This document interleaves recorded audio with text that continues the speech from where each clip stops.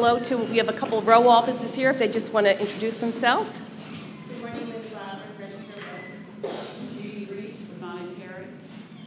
Thank you. So if you're hearing some noise, I don't know if the microphone is picking up, but we have some furry guests here today. So we'll start right away with that. We would like to read a proclamation to, or I'm not sure we have a proclamation, but we do have the Bridge Clinic here today to talk to us about kittens, why we should not drop kittens in a park or abandon them, and that we have a lot of kittens up for adoption. So Michelle and Chase, would you like to come up and, and we need you to get one of them, so.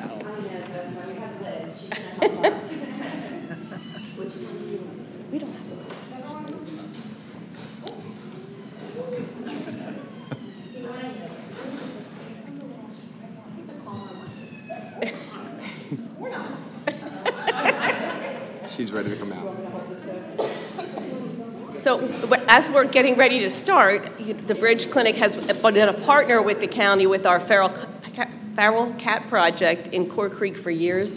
We wouldn't be able to have done that without you, so thank you. Maybe you'll mention that too. Absolutely. So yeah, we can uh, start out. First off, thank you so much to the Board of Commissioners for having us today and having all of our friends here today. So uh, we can go to the next slide. Thank you, Randy. So just really quickly, who we are. We are a nonprofit veterinary clinic and rescue. Um, so basically a shelter organization. And we have full service locations in both Bensalem and Newtown, so right here in Bucks County. Um, and basically we are, as a nonprofit, we offer affordable services for veterinary services, and we have the Connected Rescue Program, so we're able to offer a lot of rescue services uh, in the Bucks County and greater Bucks County area as well. Um, so right now, the clinics are in Newtown and Bensalem, and our rescue um, is in Bensalem. Go next. This is our, just a quick overview, this is our Bensalem location. so we're really excited about this because of um, where Bensalem is situated and just the, how we can become a community hub uh, for that area. Um, as we can get into a little bit later, we do a lot of the um, apartment complexes. We even monitor uh, different colonies uh, of cats throughout Street Road corridor, as well as some of the mobile home parks in the area as well. So this is our Bensalem Clinic. It's located on a 10-acre property um, in Bensalem. We can go to the next.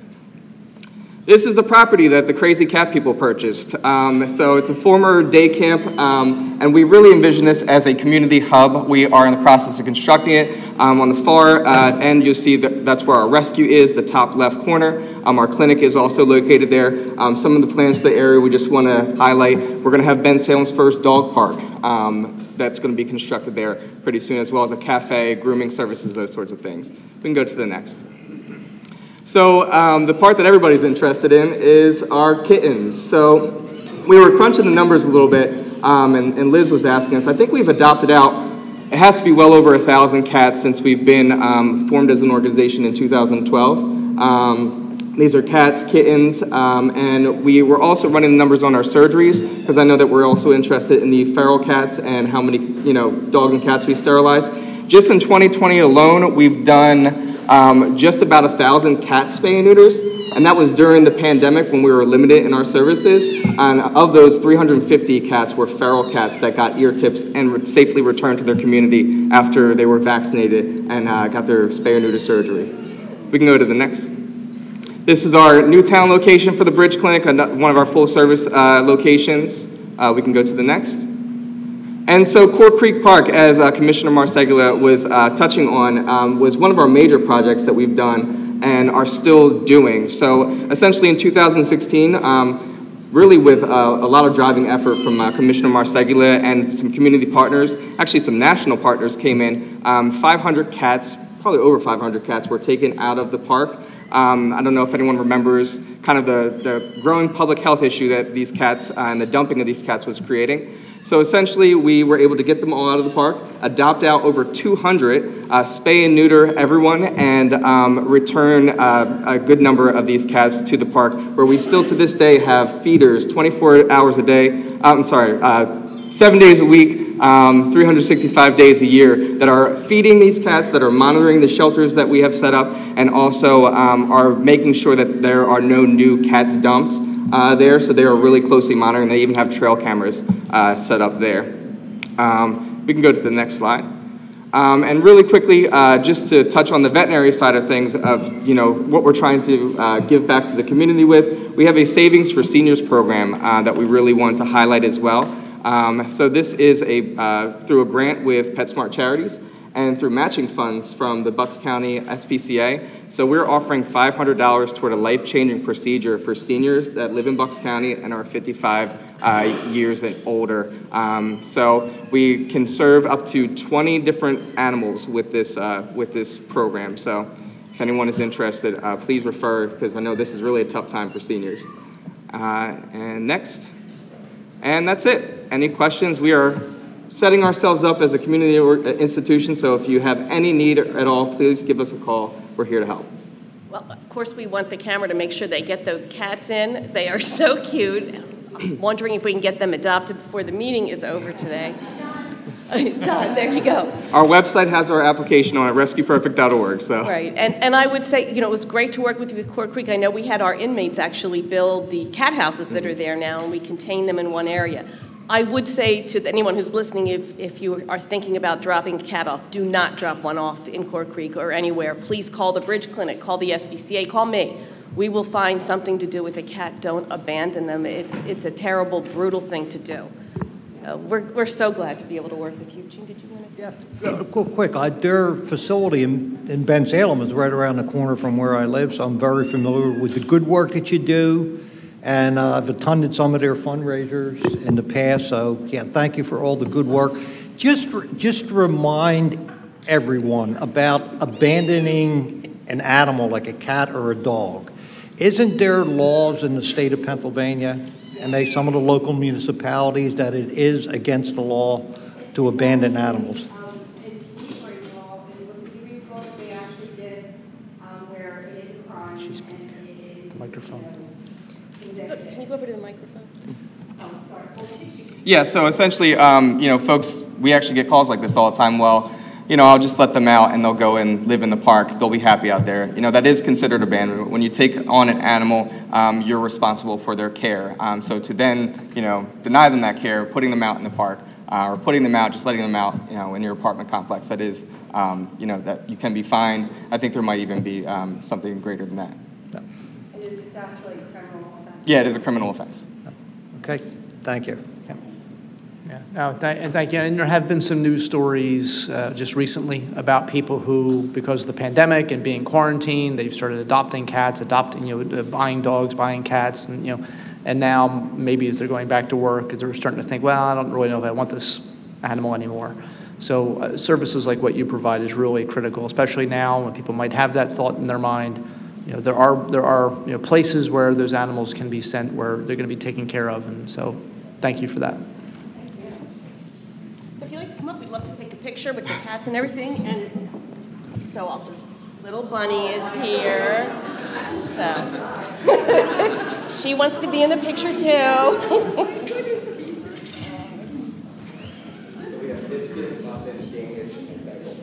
okay.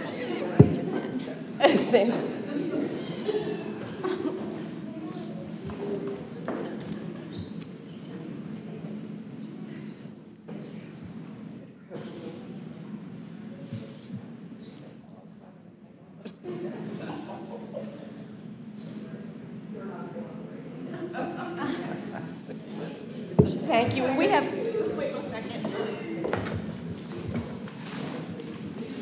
Gift bag for you. Thank you, which will be easy to carry with those cats. Thank you. Thank you very much.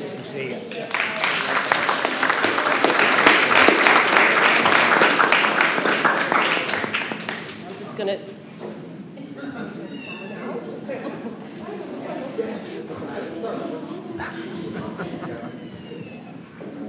The next thing I'd I'd like to do is introduce Eric Nagy, our Director of Policy and Projects, to talk a little bit about our Civic Plus website launch.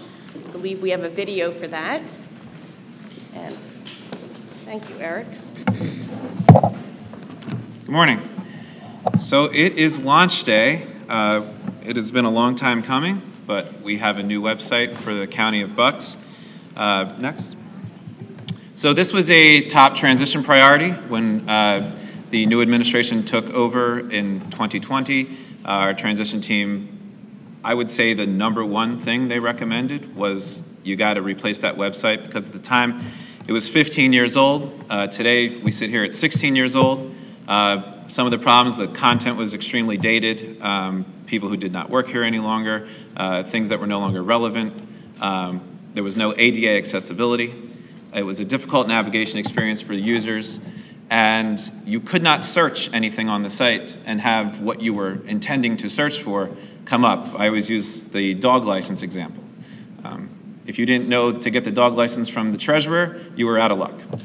Uh, next. Uh, then we were uh, faced with COVID challenges, and um, the website became a really critical asset at that point because we were looking to minimize in-person interactions. Uh, we wanted to expand online transactions um, and uh, being able to fill out forms, and part of that was live streaming public meetings. Luckily, we were able to do that earlier, uh, but the good news is with our new website, we'll, those live streams will be able to live uh, within our website. And uh, I mentioned, but you know, we, we have a, we lack digital paper forms. In other words, you have to get the PDF, print it out, send it in, um, and that's no way to function in the 21st century. Next. Um, so this task was a true team effort. Um, we started with a small website task force where we met regularly at the Planning Commission. Um, we all eventually decided to uh, uh, contract with Civic Plus, which is a large company out of Kansas who had, does thousands of these sites for municipal organizations, uh, whether that's uh, township, boroughs, uh, states, um, counties, and they do a great job.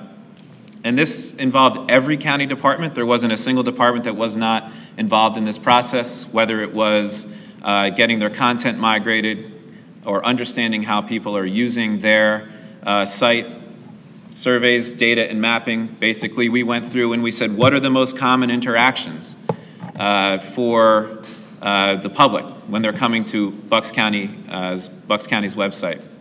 And uh, I, I, should add that this project was led um, by, by a handful of folks, but I do want to give special recognition to John Regula, our CIO, who from day one when he started just took this project and ran with it and has been just an incredible leader on this. So, John, I think thank you very much. Uh, and to, to Julie Kelchner as well, who is our webmaster and has worked diligently across every department to bring our content, uh, uh, to get it updated and to uh, make sense of it, which is uh, no, no, easy task. Um, and then all the folks involved in IT and our, and our friends and partners at Civic Plus. This was a true team effort. And thank you to the commissioners and to our COO, Margie, uh, for, for really supporting this project from its inception. Next. So, uh, we're going to do a little series of in, out with the old and in with the new. First of all, out with the old, we are no longer buckscounty.org. Next. We are now buckscounty.gov. Uh, that comes with it several layers of security and also a user experience that says, I'm at an official government website, I know that, uh, it feels that way, um, and, it, and it's just becoming a, a, more industry standard across the country um, so that people know who they're interacting with. Next. Branding, out with the old. This is our county seal. I'm not saying we're getting rid of our seal, I'm just saying we are getting rid of it as our digital uh, pr presence branding. So uh, its, its, coloring was dated. It did not match with um, universal design standards. Uh, so our, our new design,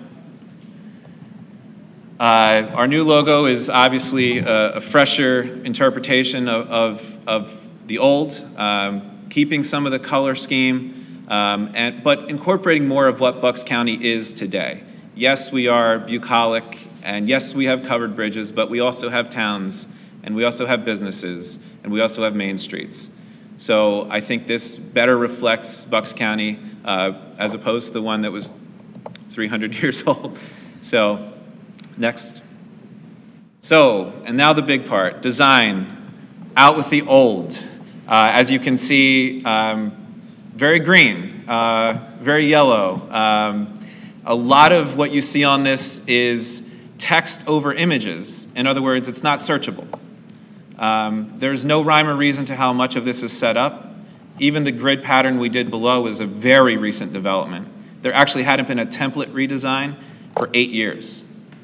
So uh, the website itself hadn't been updated, hadn't been changed in 15 years, but the, the any of the design elements within the homepage uh, uh, hadn't been touched in eight years. And in tech terms, that's, that might as well be 100 years. Uh, next, in with the new. Here is our brand new homepage for buckscounty.gov. Um, when you come to it, you're welcomed by an awesome vista of Bristol and the riverfront. You'll see along the bottom, uh, along the middle, there are buttons with our most common interactions. Along the top, our menus make sense. Um, next.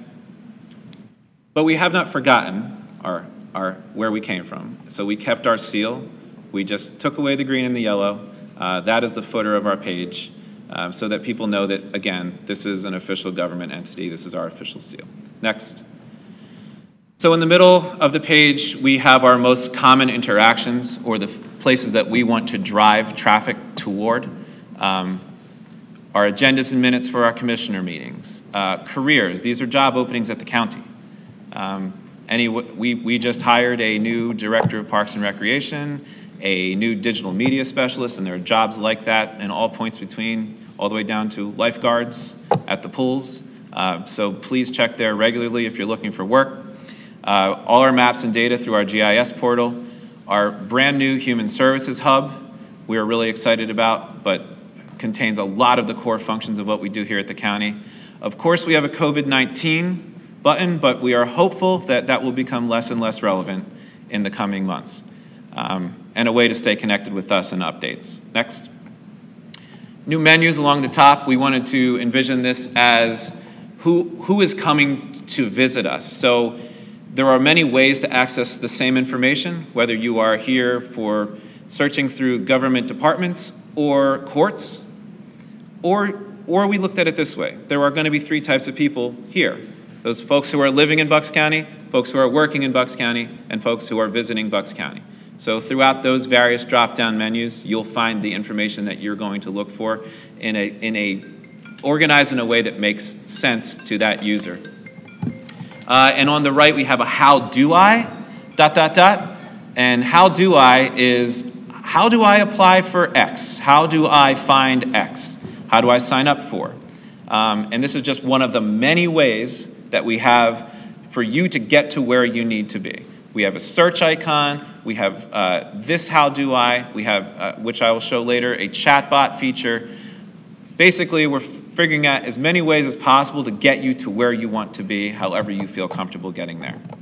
Next. So we have new headers. Some of our departments have uh, their own websites with their own button array. Courts is one of those. Um, the district attorney is another. Our hub will be another. Parks and Rec is another. Um, and elections will be one uh, shortly. But this is what those will look like. They all have their own chatbot features, they all have their own most visited features, and obviously their own menu setup. Next. So this is probably the coolest feature of the new website. One of the biggest complaints we got about the old one was I can't search for what I'm looking for. I always use the dog license example. So next, our artificial intelligence chatbot, how do I get a dog license? If you ask the chatbot any variation of that question or any question you're looking to find, whether that's a marriage license, a dog license, how do I pay my property taxes, et cetera, you will get that answer. Um, I don't know that anyone can see that on the screen, but the, when you ask, how do I get a dog license, it will say, here's where you go to do that. And it'll bring up this page when you click on it, next. get you right to our treasurer's page. You see Chris's picture there and the, the various buttons of how you get that dog license. Obviously, it's a minor example I'm using, but one that's pertinent because it's not something we were able to do uh, two days ago. Next. Also important, our previous site did not have ADA accessibility, which is, which is just a, a major disservice to the people in the community.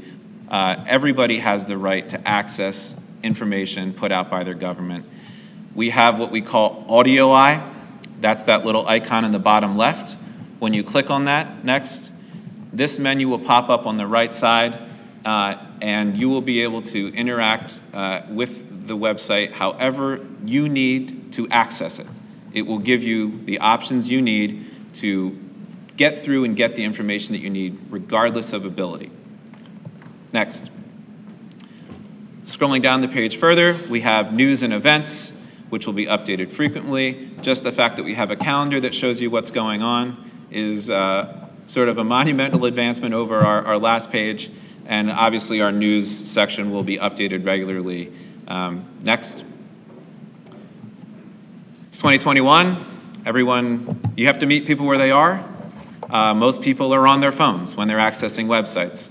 Our previous website was not necessarily very mobile friendly. This has everything you need contained on your cell phone. You'll be able to access our site. Uh, and down the road, we will actually be building an app specifically uh, for our site. Next. So, our next challenge is driving traffic to the site. We want people to use the site. We want people of Bucks County to be able to go to buckscounty.gov uh, so that it starts to populate in our search engines uh, so that the first result is buckscounty.gov, and we'll be working really hard to make sure that happens. But one of the public relations moves we will be doing to get to that point is is a video put together by our commissioners introducing our new site. Randy? Hi, I'm Commissioner Diane Ellis Marseglia. I'm Commissioner Gene DiGirolamo. I'm Commissioner Bob Harvie. It's no secret that the county's website is severely out of date, and it has been for a while. And frankly, Bucks County, you deserve better. Because if we have learned anything this last year and a half, it's that access to information is paramount. And our 15-year-old website just doesn't cut it. That's why the commissioners agreed together to Agreed together. Agreed together to invest in a brand-new, drastically improved website intended to make your access to the county government more transparent, Quicker, and easier than it's ever been. Gone are the days of scrolling through an endless maze of beige, green, and gold. When you log on to the new site, you'll be welcomed by a modern design that's also mobile friendly and a brand new logo that we feel represents the diverse county that we all call home. But the updates aren't just superficial. The site now boasts ADA features as well, because your government should be accessible to all county residents, regardless of ability. we've also replaced our old search function with an easy-to-use interactive chatbot. Simply type your question, and we'll get you the services you need. It's perhaps most important to note that our web address is changing. Buckscounty.org is now buckscounty.gov. The old address will still point you to the new website for the foreseeable future, but the .org will eventually go away. This change makes our website more secure and less confusing to visitors who will have no doubt that they're on an official government website. We plan to add more features down the road that will enhance and streamline the way you interact with your county government. Like a mobile app, user profiles, easier online payments, and digital forms. In the meantime, whether you're living, working, or visiting Bucks County, We invite you visit the new buckscounty.gov. Have a look around and let us know what you think.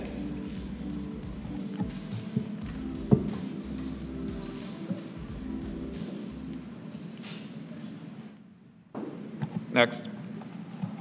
So, as the commissioners said on the video, we're not done. This is a work in progress. We do want your feedback. Uh, we need your feedback, frankly. We need to know what, we, what we're missing. I'm sure we'll learn a lot of that in the next few weeks. Uh, already this morning, uh, we had to make some changes, but that's to be expected. But um, this is a monumental leap forward. We're really excited to be able to give this to the public uh, as a tool to interact with their government. Um, coming soon, there will be a mobile app uh, for iOS and Android that will be just like. So, for example, if you do online banking, your banking app, and your, if you're on your, on the, on your desktop computer, you will have a similar experience through a single sign-on, what we're going to call the Bucks County ID, so that you can track all of your interactions with us and that we can uh, respond to you better.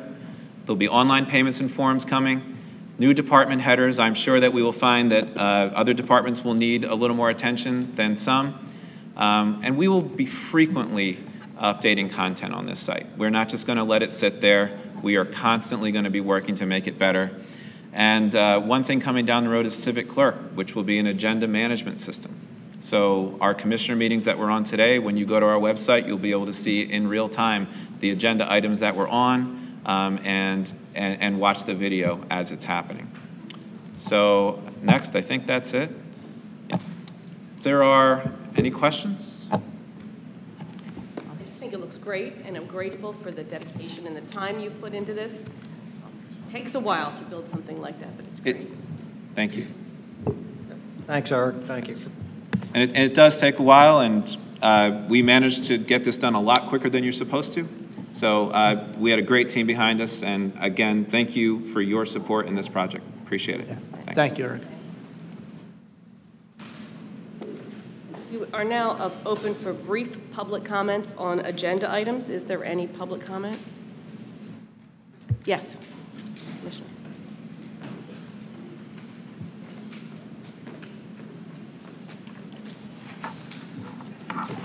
Andy Warren, Middletown. Uh, Quickly, I have a couple comments that I'll save till the end concerning the website. Some very positive, some just for consideration of a contradiction. At any rate, I'll save that till the end. I was intrigued by the uh, cat proclamation, particularly intrigued by the one slide that showed two cats sitting they were, must have been very well trained because right on their shoulder was a blue jay who must have been very brave. Either way, it was uh, eye catching. Um, to the questions about the agenda. the first question was would be for 2D. Um, the question is $4.3 million for how long and what does that do? It just says to completion. The next question was 7A and E, um, $100,000 um, for COVID-19 partitions, which we're going to have Fourth of July celebrations saying that we're independent of COVID from the White House. Um, and as was stated earlier by a previous, the previous gentleman, um, hopefully we will be re- less reliant on COVID. I just wonder why we're spending that money for next year if COVID's on the way out. And finally, just as a, a, an a, uh, update, 12A, um, that $430 an hour, that's not, that's not just our cost, right? That's, okay, that's split the three ways. Okay, thank you very much. When we get to those comments, I'll be interested in hearing.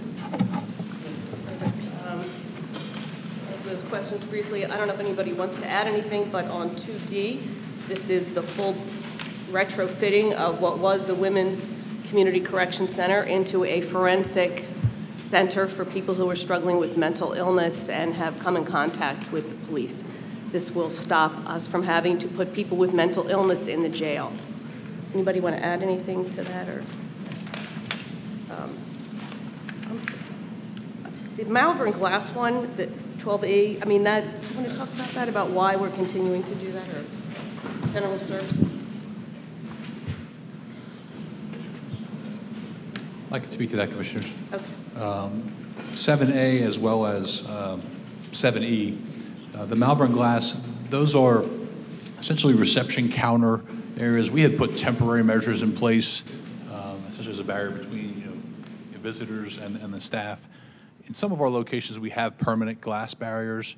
You know, we're actually now taking those temporary ones out and putting in a permanent, you know, glass barrier, which uh, will not only be a a benefit just during a pandemic type situation, but it's just a, a- creates a more permanent barrier between the, uh, just visiting public from a security, safety uh, of, of the staff that are behind the glass, um, helping, to, you know, kind of the, um, improve that interaction. I know in some of the, some of the offices, there are, it's kind of a wide open counter. I'll use clerk of courts as an example. Uh, This will help kind of better define where the transactions you know, are better, easier taking place, rather than just all over that counter. Um, So that's, that's the reason uh, behind Malvern Glass. Uh, Corporate facilities, this is also, um, this is more related to the workstations and furniture and staff. So we initially, um, with the concept of kind of an open floor plan with workspace, we had much lower partition walls. You know, With COVID, um, some of those became a challenge. We installed some temporary partitions um, to kind of separate, you know, barriers between some of the staff. Um, We wanted to still keep that open office, interactive work environment. So th- these are actually kind of a glass partition that will go on top of the partition wall, so you'll still have that open look, open feel, but it'll be something that'll be permanent. We've done it in some of our offices. Uh, Still provides that open, interactive office work environment, but down the road, it prevents us from, uh, just in general, um, not just with COVID, but uh, maybe it would benefit from COVID, but just normal um, colds, flus, things like that, where but there's the potential for someone to cough or sneeze, or you know, those particles could, uh, you know, go over a partition, wall. Uh, So this will help improve just the general health, safety, welfare of the, the county staff. And on the monetary, uh, Sure. Um, Yeah, I think it's actually, um, thank you, uh, Commissioner Warren, um, for the question. It's actually not um, a fee that's being split three ways. It's actually um, is a a fee that will be split um, probably 40 or 50 ways. Um, And so uh, what you're seeing with the number three is 3% of the cost or less. On our agendas, when we have two asterisks, that means that's the the the highest that a rate would be. So for legal fees, um, when you see 430 an hour, that's the highest rate that a partner at that firm would charge. There are other attorneys who actually charge much less than that, and paralegals who charge less than that. Um, and, and this is a good example of, in the current administration, the county, I think, being much smarter about handling cases where other municipalities are dealing with the same exact issues, and instead of all of us tasking various solicitors or law firms to basically recreate the same work, uh, if we if we sort of team up together, um, we can bring um, bring the fees down for all the taxpayers significantly. Um, so I think it's a it's a credit to the Prothonotary for for having the uh, initiative to, um, to to propose this to the commissioners to make um, um, what is a necessary evil, which is dealing with with lawsuits that come up, much more affordable. thank you. Is there a motion to support or to approve the um, minutes of the June 2nd, 2021 meeting and items 1 through 17 on today's agenda? So moved? Is there a second? Second. All those in favor? Aye. Aye, opposed? Okay, moving to the regular agenda. The first item on the agenda is, for- under the Commissioners, approving a resolution in support of maintaining the entirety of the County of Bucks in a single congressional district. Anybody, before we move on, want to make any comments? Yeah, uh, thank you. Uh, it- it- This is a really important issue. And uh, i- i- it's coming up now because the legislature in Harrisburg is starting to think about and talk about reapportionment with, which they do every 10 years when they draw redraw the lines for not only the state house and senate districts, but also the congressional districts around the state of Pennsylvania. And uh, as the resolution states in its body, Bucks County has been a single congressional district for 170 years. Uh, I think that's important to everyone that lives in Bucks County. Um, There's some chatter going on in Harrisburg, and uh, I know our present Congressman, uh, Brian Fitzpatrick, has heard, heard the chatter up in Harrisburg about possibly breaking Buck County up into two separate congressional districts. And that is something that I do not think anybody in Bucks County want to see happen. whether you're Democrat, Republican, Independent, or whatever party you belong to. I think it's important to keep Bucks County whole, one congressional district.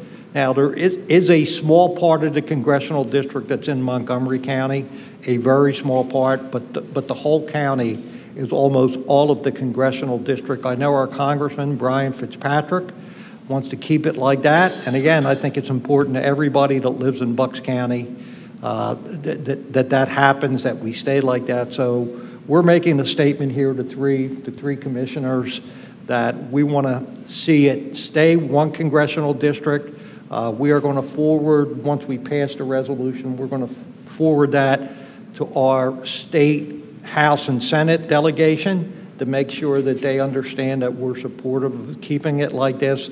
And I also think it's important that possibly that we get it forwarded also to the leadership in the House and the Senate, Democrat and Republican as well, when they're negotiating. And I, I've been up there for 25 years, and I see how some of these negotiations go and, you know, what goes on in the background. So I think it's important that we let it know that we want to keep Bucks County whole. We're not interested in splitting it up and dividing it up and going in whatever direction uh, it might go in. We want Bucks County to stay one congressional district. And an important resolution. I'm glad that we're going to vote on this today. Thank today. you for bringing it to our attention, too, Commissioner Harvie. I, I agree with uh, Commissioner DiGirolamo. I think we all do. Uh, that, you know, we want to keep Bucks County intact.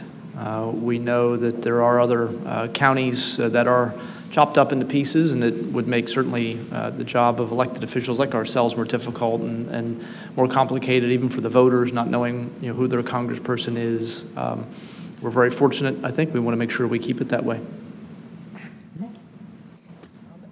I'm going to move on to corrections. There are a number of, of items here on the agenda, and then we will ask our Director of Corrections to come up and answer any questions.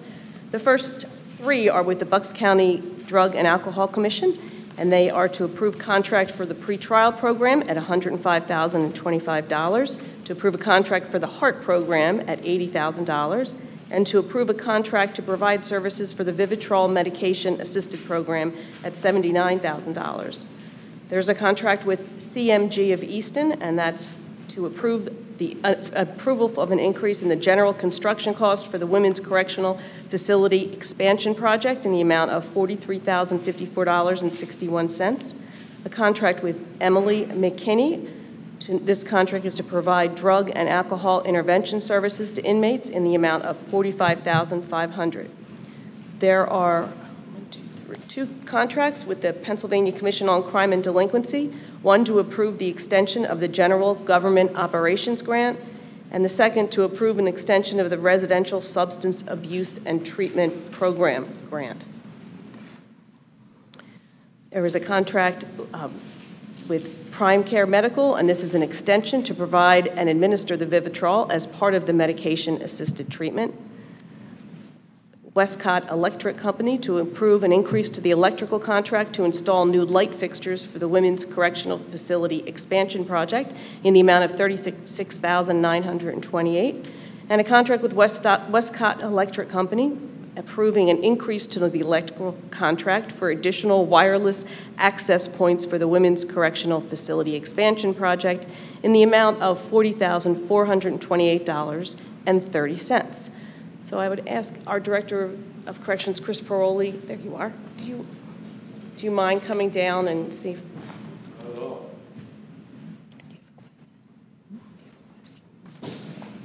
we just had a couple questions. Commissioner Harvie, did you? Thank you, Mr. Paroli. Uh, just for, you know, for people who obviously um, you know, the vast majority of Bucks Countyans don't have, uh, you know, any kind of experiences uh, with our correctional facilities. So in terms of, especially the, the first three things we have here with the, the pretrial program, the HEART program, uh, and MAT, just give us an idea for the average person, what's, what's the benefit of those and what exactly are those programs? So for 19A, uh, that's for our two employees for the uh, uh, drug court, I'm sorry, pretrial program court. Uh, it's uh, Wolburn and uh, Donchez, who've been at the facility. Um, The other, 1B, 19B, is our HEART program. That's the female MAT program that we've been running in the facility with a lot of success. And the uh, 19C is the Vivitrol program that we are are extending all those programs. And what kind of success in terms of, you know, all the, a lot of the, you certainly put people in a correctional facility, um, it's, it's, it's not just about punishment. You're trying to get some kind of rehabilitation so they don't come back, you know? Um, And people may be in the correctional facility, not just ours, but across the country, uh, could be in prison for a variety of reasons, but uh, drugs and alcohol tend to be a common denominator uh, for a lot of those people, even if they're not in because of a specific charge regarding drugs or alcohol. There's usually some kind of contributing factor. Um, what kind of success have we seen in the past couple of years with, with programs like these and others? So we- we are tracking our graduates and seeing what their rate of return is to our facility, um, and that's ongoing. But uh, I I think the biggest um, success is when you have inmates who've been going through programs for years. And when they finally get to the HEART program or get to the HOPE program for the males, um, they have nothing but good things to say about it, um, and how happy they are that we actually offer that in the county now, because it's a program unlike anything that they've experienced.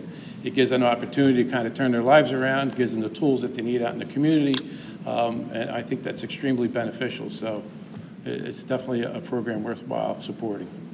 Thank you, appreciate that. Okay, Chris, we're going to vote on this, but could you stay there for just one second? If the commissioners have any other questions, call for a vote on numbers 18 and 19 of the reg, and that's A through J. Is there a motion to approve? So moved. Second. All those in favor? Aye. Opposed? Okay, there we go. Pass that. So Chris, we were, um, this is your last meeting before you retire. so- He looks happy about that. I don't know how I feel about that. It's been uh, great to work with you all of this time. You know, I'm excited for you to leave, but I'm sorry for us to have lost you. But I think I would like to read this proclamation because I think it's important for everybody here and the public to know the dedication that you have made to the county. So, whereas Chris Paroli is retiring after 39 years of loyal service in Bucks County, that was 39 years, Department of Corrections, the last four as Director of Corrections. And whereas Mr. Paroli's journey to the top began where many fine experiences do, in the kitchen, as he was hired by the County of Bucks on September 30th, 1982, to be a cook for the Old County Prison in Doylestown. Not only was he chef for the Gothic style jail, once dubbed the Pine Street Hotel, he is the only person still in the employ of the Corrections Department to have worked there. Whereas meals served en masse were certainly familiar to Mr. Paroli, a father of seven who grew up in Tullytown as one of 15 children, born to a longtime borough council and school board member and his businesswoman wife. Not surprisingly, a 2003 article in the Philadelphia Inquirer began with the line, Hyannisport has the Kennedys, Tullytown has the Parolis. Right.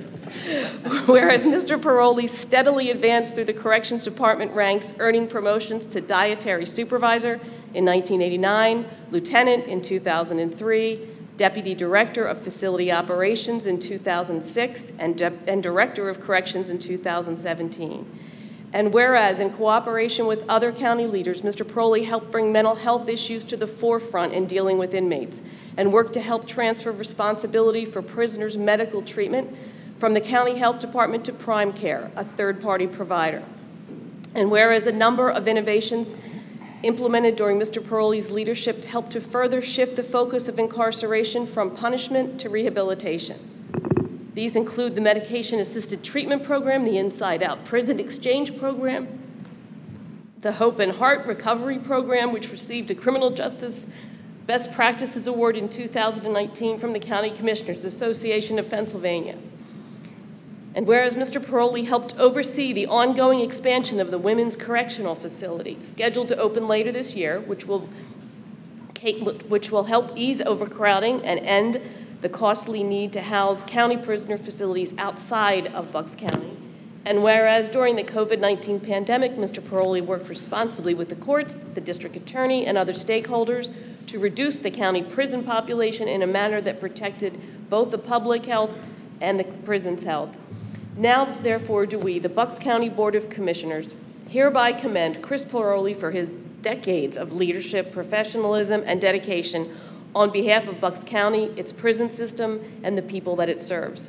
We congratulate him on his well-deserved retirement and wish him good health and happiness in the next chapter of his life and invite the Assistant Director of Corrections to come up and share a couple words about Mr. Paroli as well. I'm not retired yet, so be be careful. You can still fire me, so. Yeah, yeah. uh, So, uh, sad day for everybody here in corrections, but we are very happy uh, that that Chris has uh, achieved a milestone. We wished it would have been 40 years. Um, 39 is good enough. Um, So everybody think back for a minute, 1982, where were you, right? We've all been in different places. Some of you probably weren't even born at that point or or were in elementary school, right? Thank you. So, yeah, You're welcome. Uh, uh, Talk to, uh, you know, going over some stuff that we've done and and some of the stuff that was brought up in the proclamation. The um, treatment that we've instituted under Chris's direction has been incredible. Um, I, I think Bucks County is one of the most progressive corrections departments out there, and, and everybody in this room has a piece of that. All the departments, the commissioners, chief operating officers, solicitors. Um, I was thinking back to the yoga when we started doing pre-COVID. Remember that? We had uh, Chris demonstrate some yoga moves up here uh, at the commissioners meeting, so that was good. Um, I'd like to thank Chris for his leadership. Um, I know working next to him, uh, side by side with him, I really picked up a lot. Um, I really learned to look at everybody uh, on staff in a leadership management role and, and kind of find uh, people's talents. Chris had a good knack for that, uh, finding somebody that had a specific talent and pulling that out. So we're all grateful for that. Um, last two things I have, I'm going to miss our late nights working. Uh, Chris would often be in his office blasting uh, his rock and roll tunes, some of the 1970s Eric Clapton stuff, and then he'd switch over to rap around 7 o'clock at night. So that would throw me for a loop, but that would uh, get his energy up and running when we were plowing through all the paperwork and, and the long nights we had during the year of COVID. So I'd like to thank him for that. And last but not least, uh, I talked to the guys, and if you want a cat, uh, we can arrange an adoption for you today. You want two? Yeah, my- Pick two I got- out. I got a couple dogs, We're so- going to cover the fees. so- Yeah, yeah. So again, thank you, congratulations. Thanks, Dave. Thanks. We'd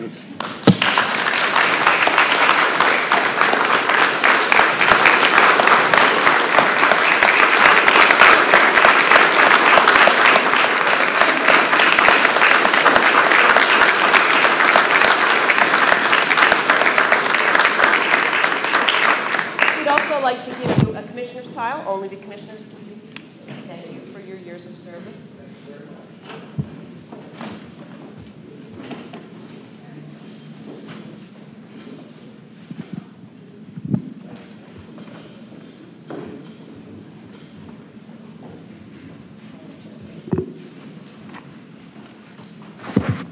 We have two budget adjustments today. Budget adjustment number 13 with, in domestic relations in the amount of $15,000.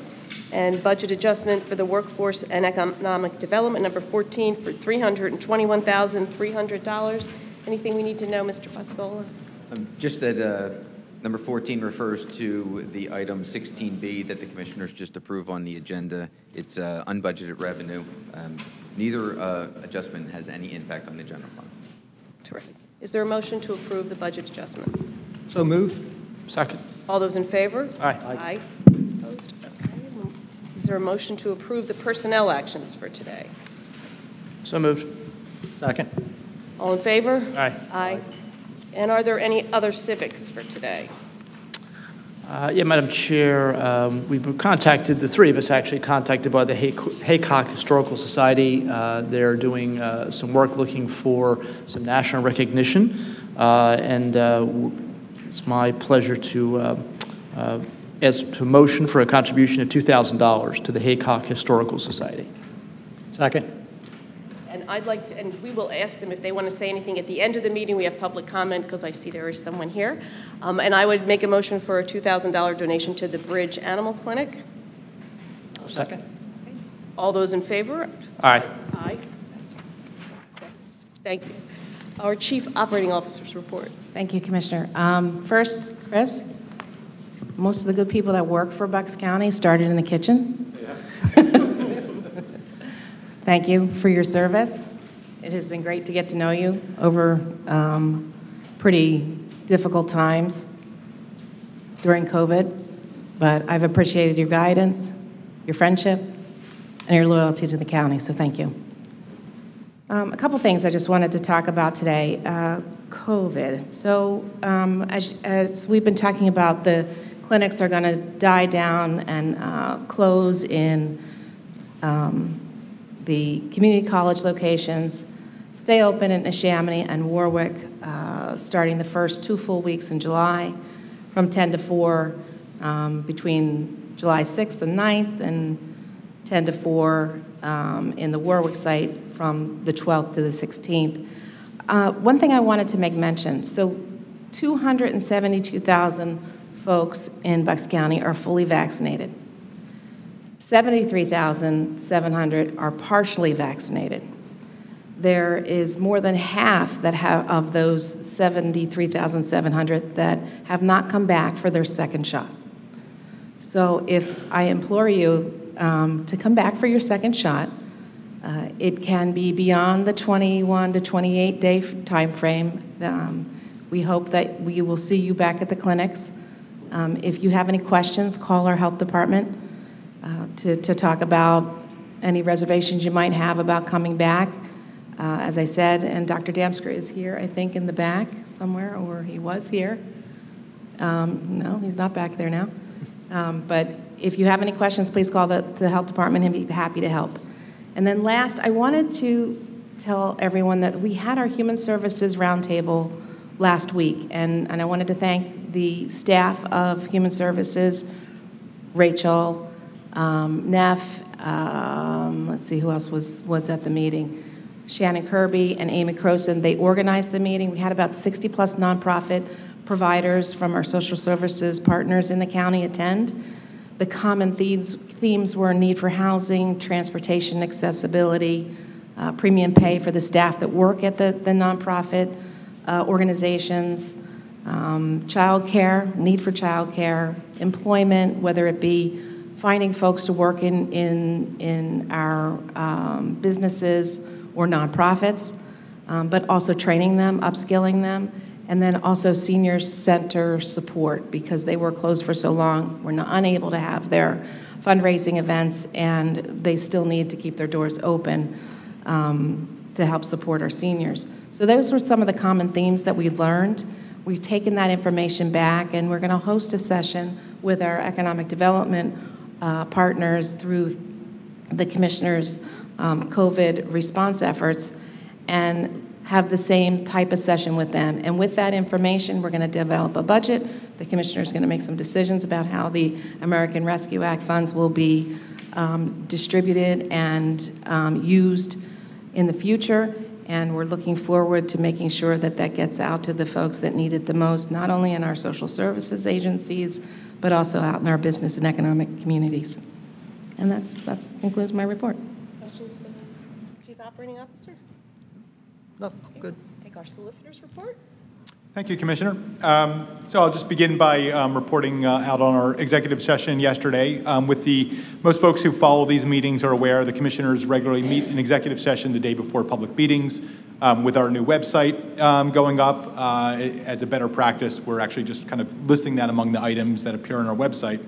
Um, I'm also happy to report uh, on an item that we first brought up during Earth Week when we had shared that uh, a federal judge uh, here in the Eastern District of Pennsylvania had granted a motion uh, from Bucks County to intervene in a federal lawsuit um, that was, um, in, from our standpoint, um, our effort was to help protect the ban on fracking in the Delaware Valley um, River Basin. Excuse me, Delaware River Basin. Um, the, this area that includes Bucks County uh, spans four states and is protected by the Delaware River Basin Commission um, which had instituted a rule against um, fracking in that region because of the very serious environmental harms that this practice poses to our water supply.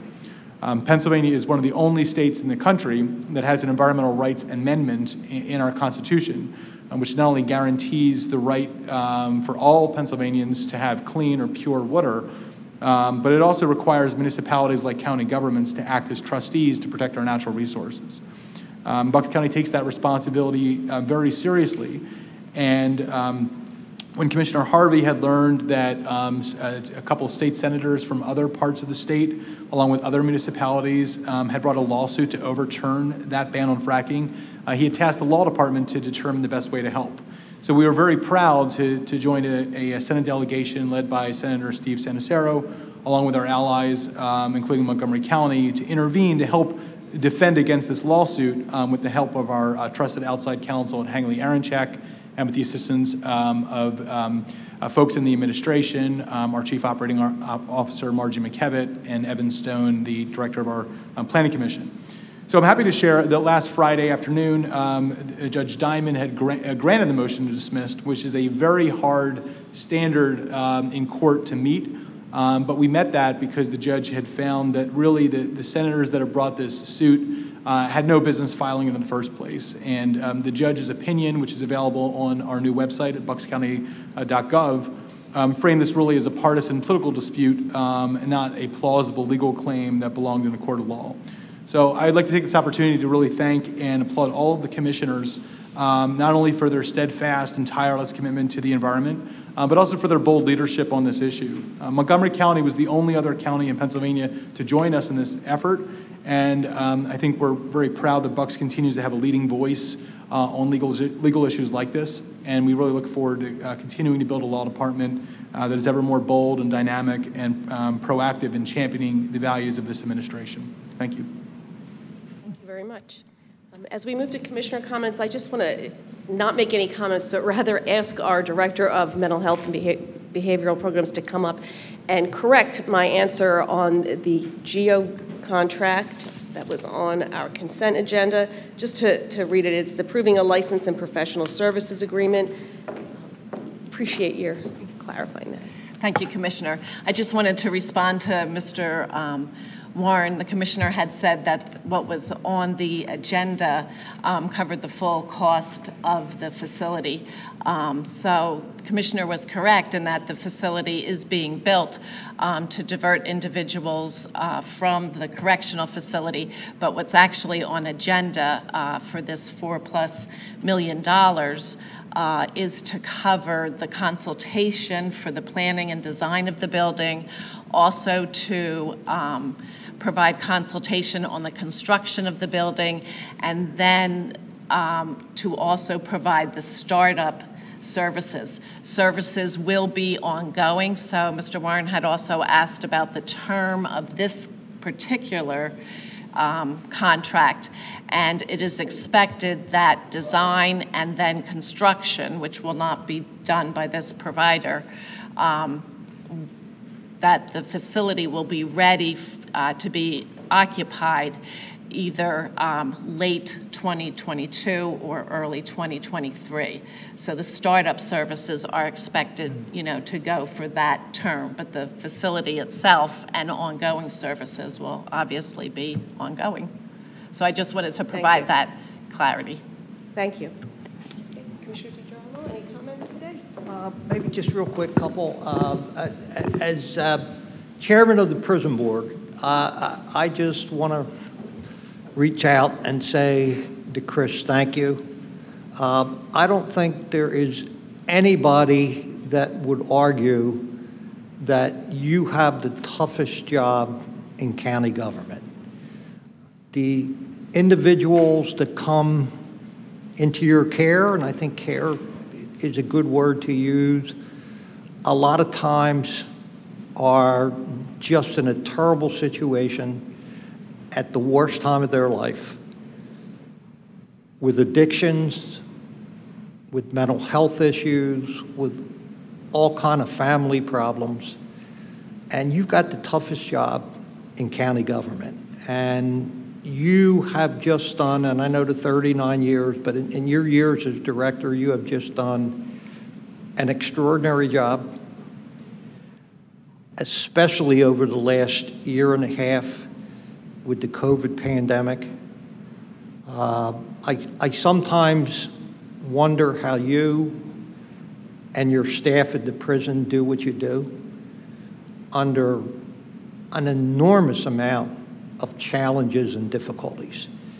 And um, again, I don't know, maybe we use this word bittersweet too much, but, you know, we certainly, everyone is going to miss you um, and your leadership, and I heard that word used a couple, a couple of times today, under your, le- your leadership, but we're, I see the smile on your face, so I know uh, after 39 years that maybe you have other things you want to do with your life, so we wish you all the best, but, but thank you.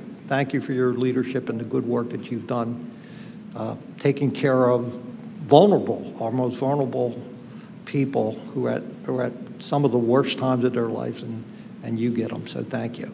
Uh, One other, real quick.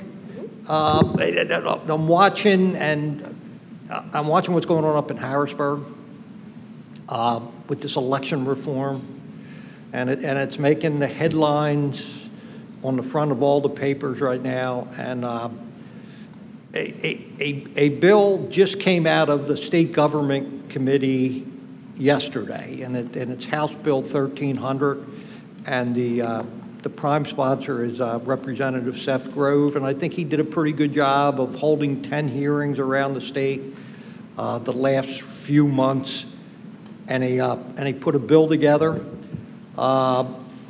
But the red flags it raises for me is that the voting committee was 15 to 10.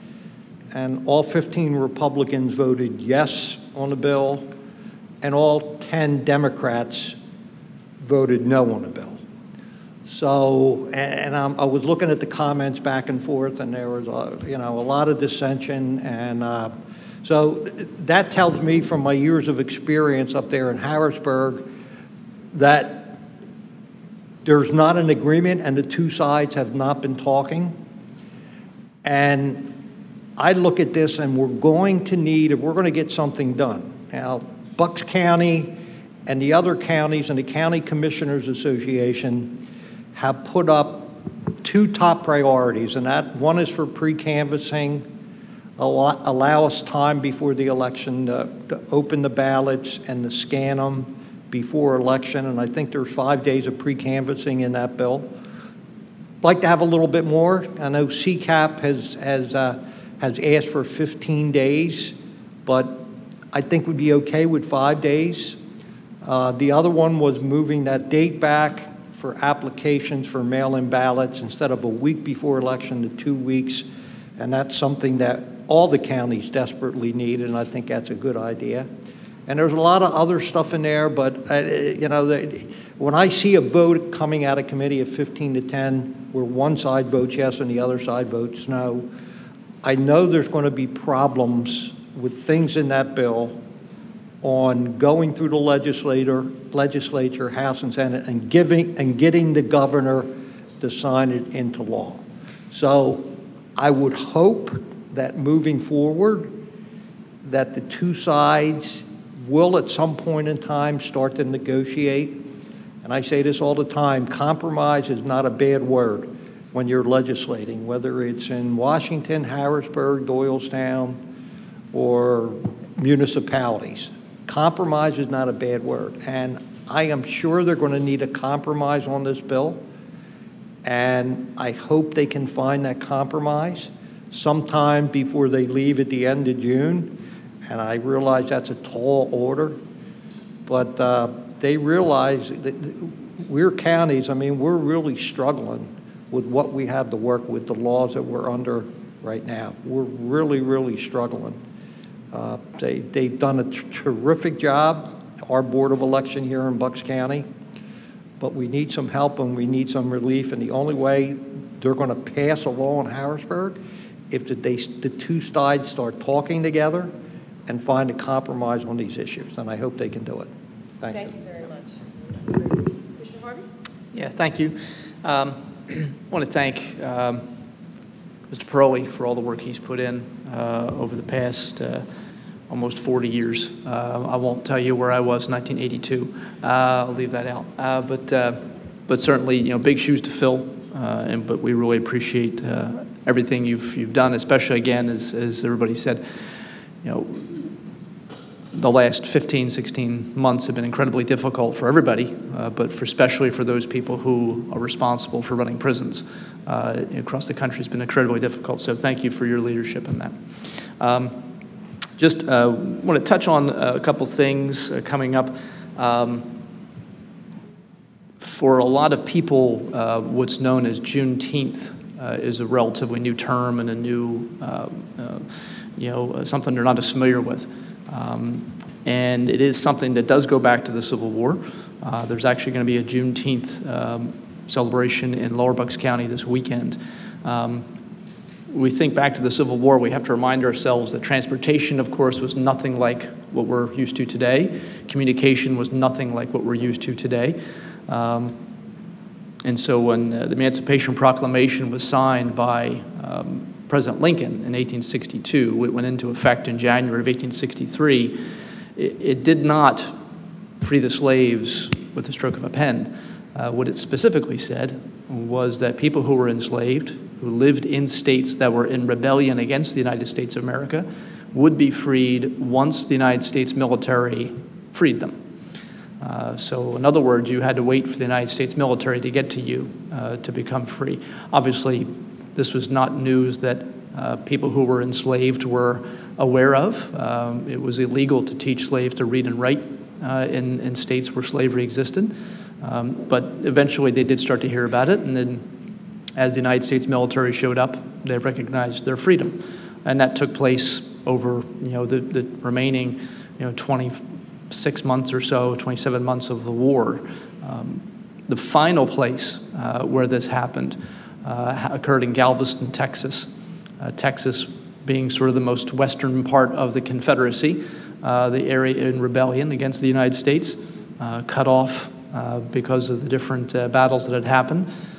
it took until June 19th of 1865 for the United States military to get to Galveston and for the Emancipation Proclamation to be read, uh, and for the enslaved people of Texas to realize uh, that that freedom had arrived for them. Uh, interestingly, while it may be new for a lot of people, uh, this has been a holiday in Texas since 1979. Uh, so it is not new around the country. Uh, and so it's interesting, you know, in some cases we're still learning history. Um, you know, we know especially over the past um, several years, couple decades, really. Uh, we know that relations in this country, race relations specifically, have not gotten better. Um, we have reports from the FBI and other law enforcement, federal law enforcement, that you know, white supremacy and, and extremism are the biggest threats to the United States. Uh, and so, no, in, informing ourselves a little bit about history and understanding a little bit about where we where we've been and how we got here is a major part uh, of moving forward uh, as Americans. So um, I want to encourage people to, you know, keep mindful of that. And, and uh, certainly we know that uh, the state has, uh, has declared um, that day as a holiday for court employees and state employees. Um, but, and, you know, certainly a lot of states have it as a holiday. Um, so it'll be interesting to see what happens in the future if it becomes more, more pronounced and more sort of well known. And finally, just want to wish everybody, uh, all the fathers and stepfathers and grandfathers, uh, this Sunday, happy Father's Day. Uh, thank you for everything that you do, all the fathers who are in the room, uh, the fathers up here on the dais, uh, and all the grandfathers as well. Uh, thank you, and I hope you have a very restful day and, and enjoy that tie you're going to get, uh, you know, or whatever golf clubs or, or fishing pole or whatever it is that you that you get from uh, from your from your kids and, and grandkids. So that's it. Thank you. Thank you very much. That's a good thing to remember. Are there any brief public comments on any item? Yes.